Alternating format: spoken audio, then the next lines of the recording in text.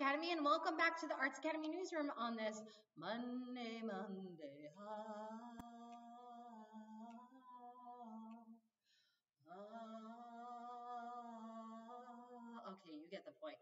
Today is Monday, October 7th, 2024. Now, as a child, one of my favorite pastimes would be to sit in front of the TV and watch the Weather Channel.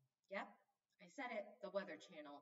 And one of the reasons why was because of that lovely, low key, jazzy saxophone underlying the 10 day weather forecast. So we're going to pay homage to that this morning with our weather report.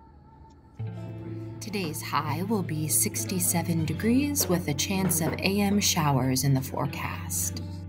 Today we are sending a big birthday wish to fourth grader Liam Panetta and Mrs. Summers' class. Have a great day today, Liam. All right, so Hispanic Heritage Month continues in the world and in the newsroom too.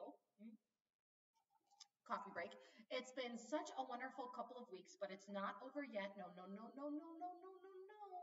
Macias and Victoria Vidal and their entire family support the Hispanic community by performing in their marching band. Specifically, they participated in back to school activities with the Puerto Rican Culture Preservation Corporation and in the Puerto Rican Parade. Victoria Vidal is a baton dancer, and so is Sarai from first grade. It's going to be hard not to get moving and grooving after seeing them in action and hearing the pulsing beat.